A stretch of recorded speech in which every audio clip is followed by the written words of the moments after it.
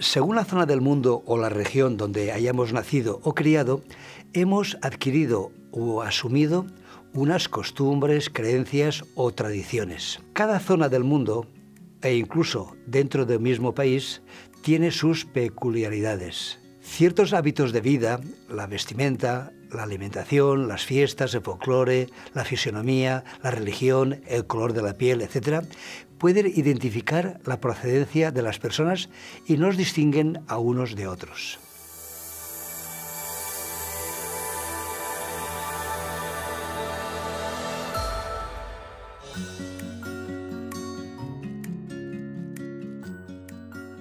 Hay un argumento que no siempre ha sido bien empleado. Esto siempre ha sido así. O desde que nacimos esto siempre se ha hecho de tal manera.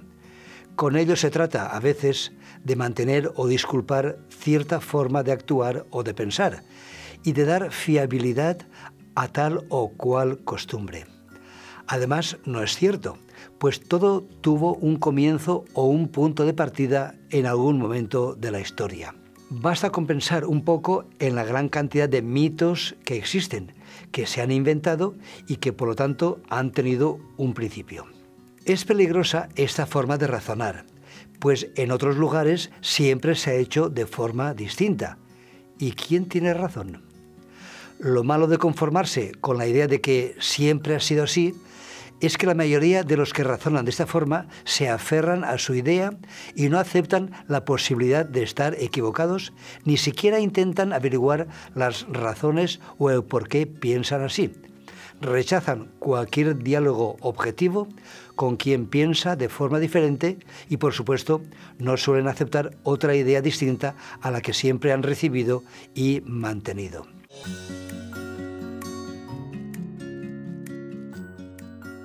Pero que exista una costumbre y que para algunos siempre se haya hecho de una manera determinada, no la convierte en la única, la mejor y mucho menos en la correcta. Se hace porque es lo que nos han dicho o hemos visto durante nuestra corta o larga existencia. Un ejemplo.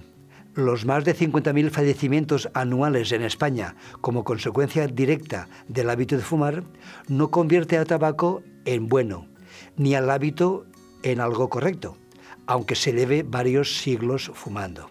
La familia, la educación, la cultura, la religión, los amigos, la economía, el medio ambiente y la ideología política que predomine en nuestro entorno son los que han modelado o influido en mayor o menor medida en la formación y comprensión de los conceptos que hemos llegado a aceptar en nuestra mente y hemos permitido que dirijan nuestro estilo de vida. Nuestra mente es moldeada mayormente por lo que vemos y escuchamos con más frecuencia y se va adaptando al entorno a tal punto que llega a aceptar como normal todas las costumbres que la rodean, descartando la posibilidad de que lo que otras personas piensen puedan tener más razón que nosotros. Por lo tanto, cuida el jardín de tu mente, pues el pensamiento que riegas es el que crece. Ante el argumento de que la mayoría piensa así, y aunque sea difícil de admitir, si somos sinceros nos percataremos de que la mayoría hace, piensa y actúa casi por inercia, según escucha y ve en los demás, en la mayoría y no como resultado de comparar o analizar objetivamente otras posibilidades. En el terreno religioso resulta que uno más o menos cree y acepta aquello que le han dicho desde pequeño, por lo que tendrá unas creencias diferentes a otros, según la formación que haya recibido y la zona del mundo donde se haya criado.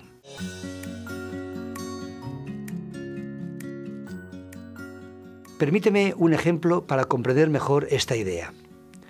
Durante unos años estuve yendo con mi familia a visitar un familiar cercano. Para ir en coche a la calle donde vivía era necesario tomar un desvío a la izquierda en una calle principal, pero había línea continua, por lo que no se debía girar.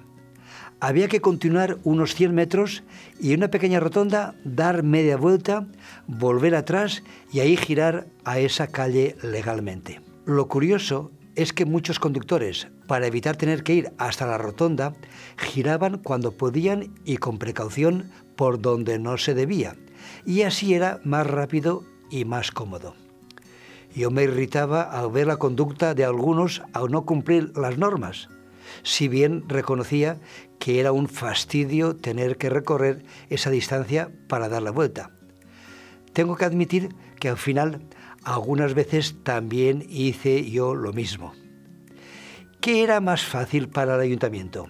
¿Cambiar la actitud, la costumbre, la mentalidad y la comodidad de los conductores o cambiar la ley? Después de varios años, el ayuntamiento, viendo el hábito de los conductores, decidió legalizar esa costumbre poniendo un semáforo y así regular el giro a la izquierda. Pudo más la tradición y la costumbre de los conductores que el mantener el cumplimiento de la ley. Este ejemplo nos sirve para introducirnos en la idea de que a través de los siglos la tradición ha ido modificando costumbres y leyes establecidas en la sociedad. Veamos algunos ejemplos. En la época actual y en un buen número de países tenemos asumido que la semana empieza el lunes y termina en domingo, pues así lo vemos en los calendarios. En el diccionario enciclopédico Espasa, de 12 volúmenes, en su octava edición del año 1978 dice, Domingo, primer día de la semana. Sábado, séptimo y último día de la semana. Debido a la costumbre repetida y reinante en nuestra sociedad, si a alguien le decimos que el domingo es el primer día de la semana, nos mirará con extrañeza, pues lo que siempre ha oído y visto es diferente. Tanta es la fuerza de la costumbre que hay diccionarios recientes donde lo han modificado y ahora dicen que el domingo es el séptimo y último día de la semana, contradiciendo a los diccionarios más antiguos. Son muchos los países donde en sus calendarios sigue estando el domingo como primer día de la semana, aunque sea feriado. En el idioma portugués, por ejemplo, se dice domingo, segunda feira, terza feira, cuarta feira, quinta feira, sexta feira y sábado, manteniendo domingo como primer día de la semana. Igual ocurre en la cultura hebrea, donde solo el séptimo día tiene nombre, sábado, y los demás días se les nombra por su número, siendo primer día de la semana el siguiente del sábado. En países de cultura árabe, el fin de semana es el viernes y el sábado, siendo domingo el primer día de la semana y día laborable. Pero debido a la influencia del occidente y quizá también por motivos económicos, ya están extendiendo fin de semana desde el viernes a mediodía hasta el domingo.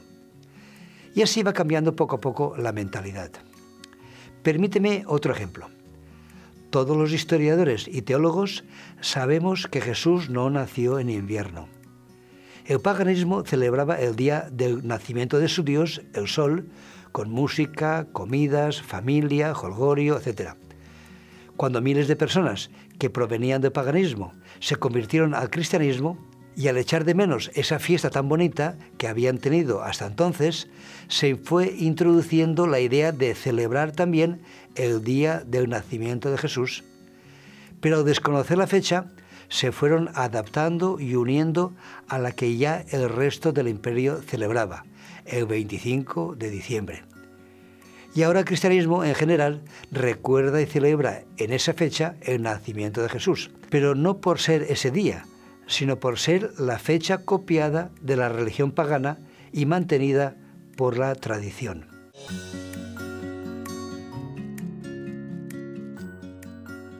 Hasta aquí todo bien.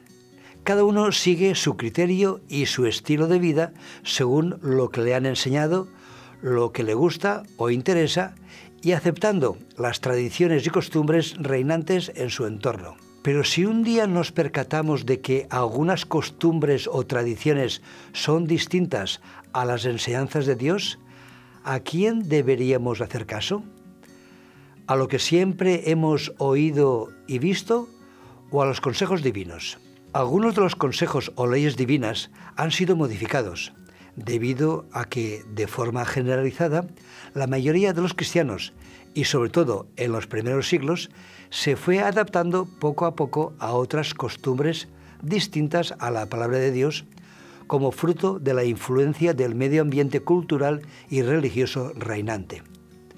Tanto es así que con el paso del tiempo muchas de las doctrinas y costumbres del paganismo se mezclaron con las enseñanzas originales del cristianismo, a tal punto que hoy en día en muchas cosas ya casi no se parece a lo que Jesús y los discípulos enseñaron. Al comienzo del cristianismo, la mayor parte de los conversos eran de origen judío, conocedores por lo tanto de las sagradas escrituras, de las leyes de Dios y sus distintos consejos.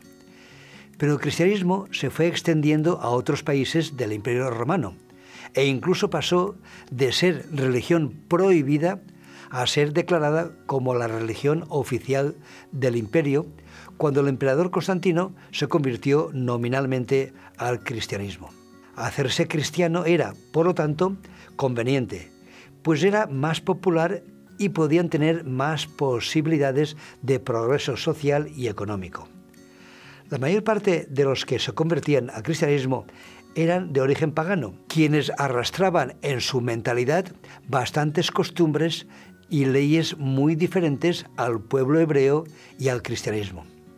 Se convertían a la religión oficial, la que convenía, la popular, la del Estado, pero continuaban con sus costumbres tradicionales, hasta el punto en que la mayoría siguió observando sus hábitos religiosos antiguos. Viendo la fuerza de la tradición y que la mayoría de nuevos cristianos copiaban y abrazaban esas costumbres, Finalmente, no fue el cristianismo quien convirtió a los paganos, sino que los cristianos se convirtieron al paganismo, al adaptarse a las costumbres o tradiciones traídas y mantenidas por los paganos y adquiridas por el cristianismo en general.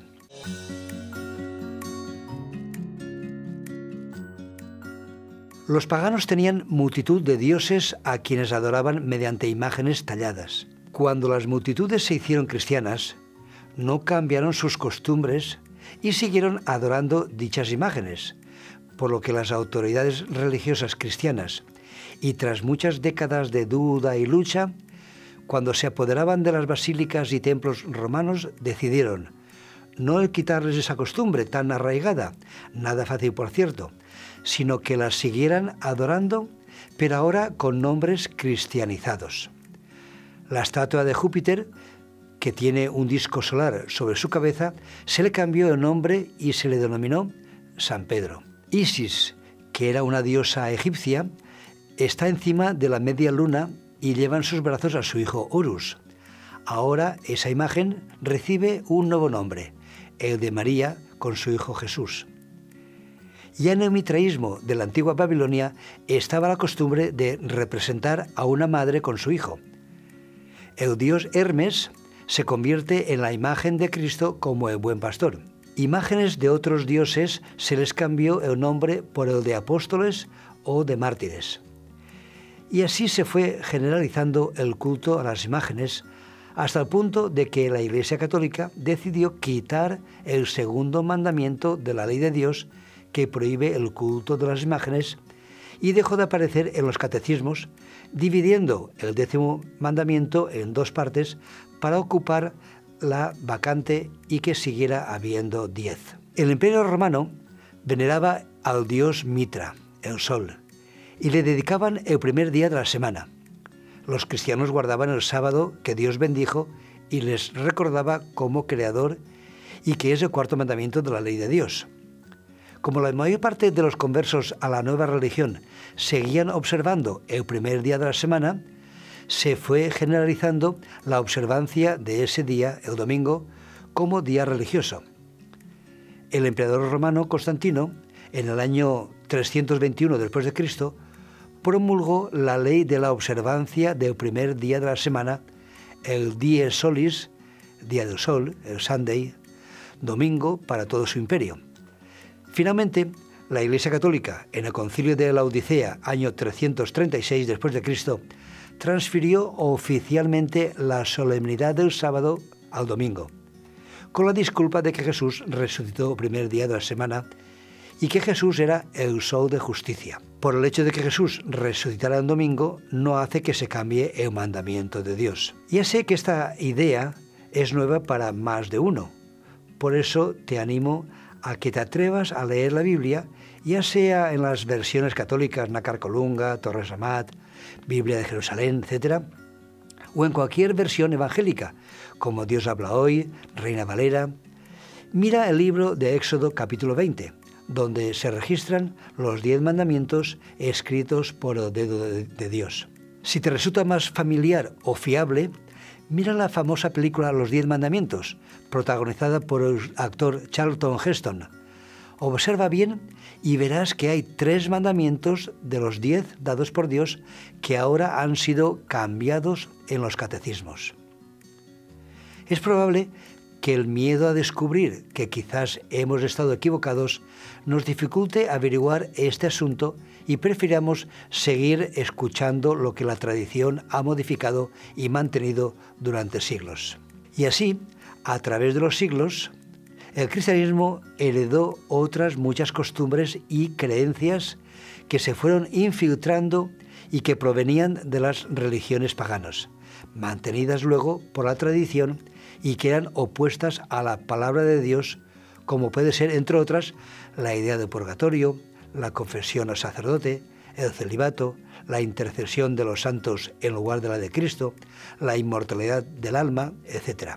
La tradición y la costumbre mantenida pudo más que aceptar lo que Dios había enseñado. Y como no había argumentos para defender dichos cambios, con el fin de que nadie discutiera su origen, se obligaba a aceptarlos y a no dudar de su autenticidad con el término dogma de fe. Ante esa palabra, los creyentes entendían que tenían que aceptar tal o cual enseñanza, aunque no hubiese explicación ni fueran razonables o coherentes. Siempre que una entidad obliga a aceptar una creencia, es porque ha perdido autoridad.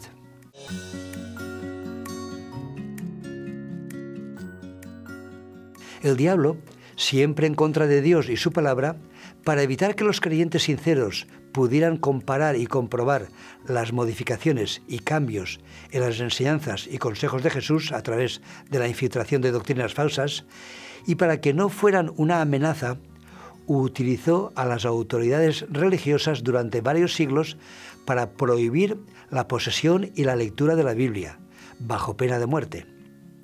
Cientos de miles de creyentes fueron perseguidos, torturados y decenas de miles murieron en la celda, a espada, en la horca o en la hoguera, todo por asirse a lo que decía la Biblia. Esto ocurrió sobre todo entre los siglos XV y XVIII, en lo que se denominó Santa Inquisición. Y así la mayor parte de la cristiandad, al no tener acceso a la palabra de Dios de forma personal, ponían su credibilidad en las enseñanzas de los dirigentes religiosos de su época.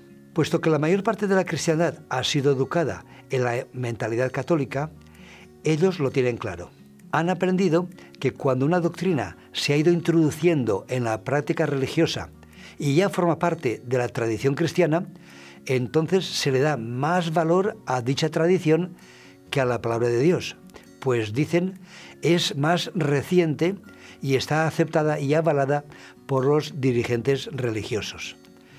Según la enseñanza de la Iglesia Católica, el Papa tiene la misma autoridad que Cristo y puede incluso modificar la ley de Dios y cambiar doctrinas. Y si aprueba tal o cual enseñanza, aunque sea contraria a la palabra de Dios, tiene total validez para el creyente católico actual. Además, y para que no hubiese discusión ni dudas sobre la validez de los cambios realizados, en el Concilio Vaticano I, año 1870, se aprobó por algo más de la mitad de los reunidos que el Papa era infalible cuando habla ex cátedra, es decir, no se equivoca.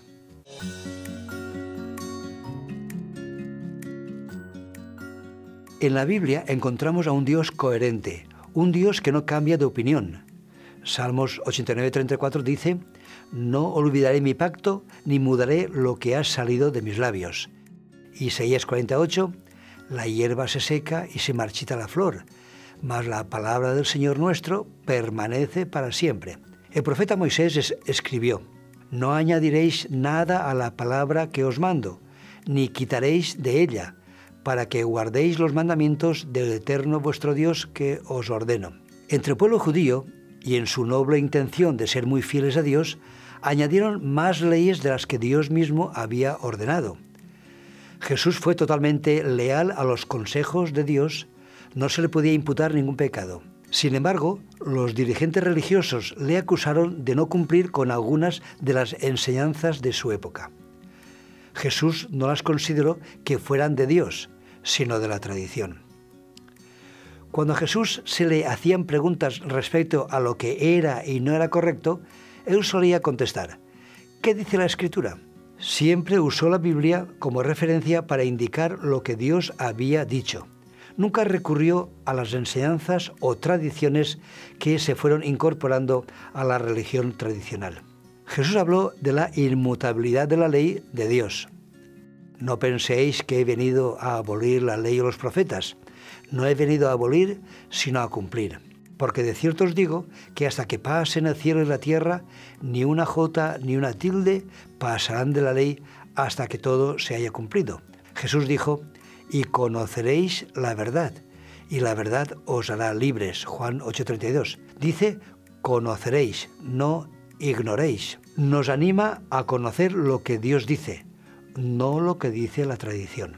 El apóstol Pablo dijo, mirad que nadie os engañe con filosofías y huecas sutilezas, basadas en las tradiciones de los hombres conforme a los elementos del mundo y no según Cristo.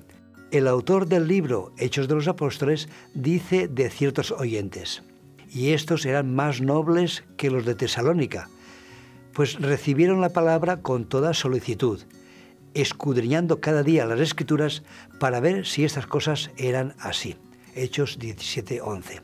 El apóstol Pablo dijo, Jesús es el mismo ayer, hoy y por los siglos. Hebreos 13:8. Por lo tanto, su palabra y consejos también.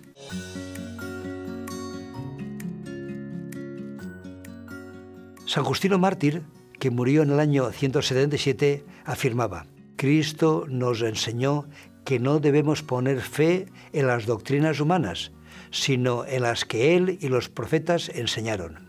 San Basilio Magno declara, el anular cualquier cosa que se halla en las Sagradas Escrituras o el introducir otra cosa cualquiera que no esté en ellas es una apostasía de la fe y un crimen presuntuoso. San Eusebio, en el Concilio de Nicea, año 325, en presencia de 318 obispos allí reunidos, exclamó, creed las cosas que están escritas.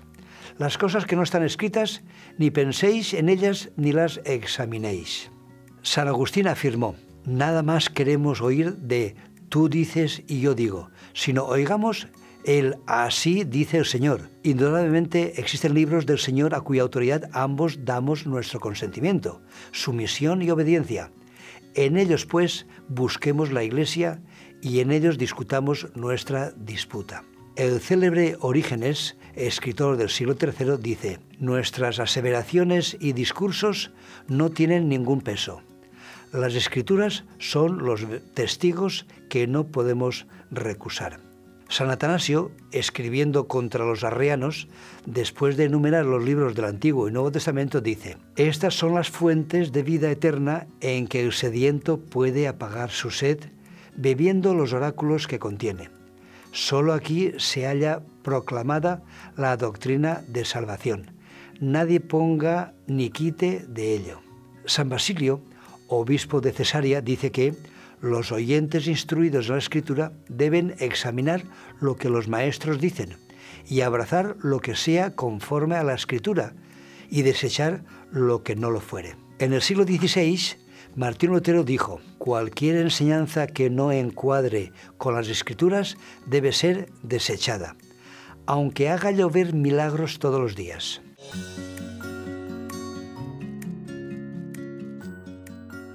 Permitidme un par de ejemplos.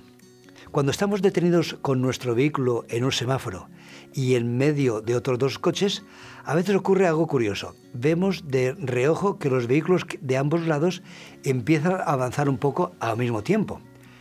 Nuestra primera percepción es que el nuestro está yendo hacia atrás. ¿Retrocede el nuestro o avanzan los otros dos? O imaginemos que estamos dentro del tren o del metro en la estación y hay otro tren en la otra vía. Se cierran las puertas de ambos trenes y el otro parece que se mueve.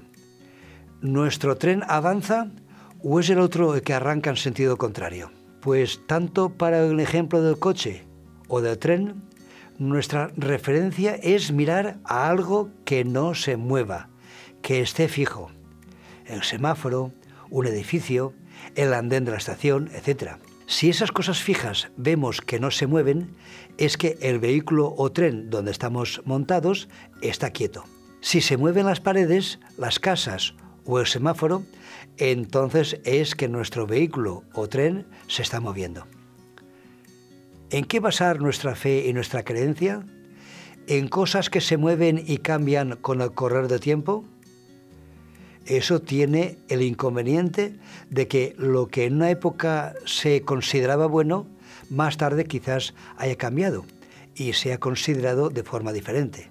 Además, está el inconveniente de que como las tradiciones son cosas que han ido surgiendo o han sido inventadas por las personas y añadidas a los hábitos de la sociedad, los seres humanos, falibles, nos equivocamos y por eso muchas veces hay que rectificar lo dicho. Las mentalidades cambian y las costumbres también. Mejor será basar nuestra fe y confianza en algo fijo y no en algo que cambia. El apóstol Pedro repitió las palabras del profeta Isaías. La hierba se seca y la flor se cae, pero la palabra del Señor permanece para siempre. La palabra de Dios es siempre la misma.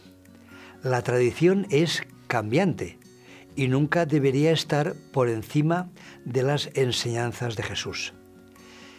Siempre lo que nuestro Dios de amor nos ha aconsejado será no solamente lo correcto, sino que será lo mejor para nuestras vidas.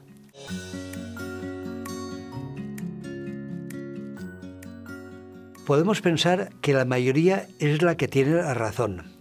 Yo pregunto, ¿quién determina la verdad? Jesús dijo, yo soy el camino, la verdad y la vida. Quien determina la verdad, por lo tanto, es Él, Jesús. En Juan 17, 17, Jesús, orando a su Padre, dijo, santifícalos en tu verdad, tu palabra es verdad. Jesucristo y su palabra son la verdad. La verdad no se determina por la mayoría de los votos. Eso puede funcionar en política. Al creer los creyentes durante siglos que lo aprobado por los dirigentes religiosos en los concilios es correcto, justifican todos los cambios hechos por el clero. Y como en general los cristianos no suelen leer la palabra de Dios, aceptan de buen grado lo que sus líderes religiosos les dicen y lo que han visto a su alrededor durante toda su vida de todos los creyentes debería decirse lo dicho en Hechos 17:11. Y todos estos eran más nobles que los de Tesalónica, pues recibieron la palabra con toda solicitud, escudriñando cada día las escrituras para ver si estas cosas eran así. La voz de Dios es su palabra. La voz del pueblo, con toda sinceridad, puede estar equivocada. Tradición, sí, siempre y cuando esté de acuerdo con la palabra de Dios. Son muchas las personas que consciente o inconscientemente aceptan las enseñanzas religiosas que nos han llegado por la tradición y creen que es la palabra de Dios. Podemos estar completa y sinceramente equivocados. El rey Salmón dijo, hay camino que parece derecho, pero que al final conduce a la muerte. Seguro que a nadie de nosotros le gustaría que Jesús le dijese las mismas palabras que pronunció y dirigió a los dirigentes religiosos de, su época. Entonces se acercaron a Jesús ciertos escribas y fariseos de Jerusalén diciendo, ¿por qué tus discípulos quebrantan la tradición de los ancianos? Respondiendo les dijo, ¿por qué vosotros también quebrantáis el mandamiento de Dios por vuestra tradición? Habéis invalidado el mandamiento de Dios por vuestra tradición, enseñando como doctrinas mandamientos de hombres. Si nos llamamos cristianos es porque somos seguidores de Cristo, no de una iglesia. Y si somos seguidores de Cristo, haremos bien en aceptar los consejos que Jesús nos dejó por escrito. La iglesia cristiana nunca tendrá más importancia que el fundador de la misma, y sus enseñanzas nunca tendrán más valor que las que Cristo mismo enseñó. Es a Cristo a quien tenemos que agradar, no a la iglesia. La pena es que muchos se sienten más seguros aferrándose a aquello que han oído siempre en lugar de abrir sus ojos y descubrir lo que realmente Cristo nuestro Salvador nos enseñó. Satanás nos aparta la mirada de Cristo para seguir tradiciones que no son de Dios. ¿Obedecemos a Dios o desobedecemos a Dios?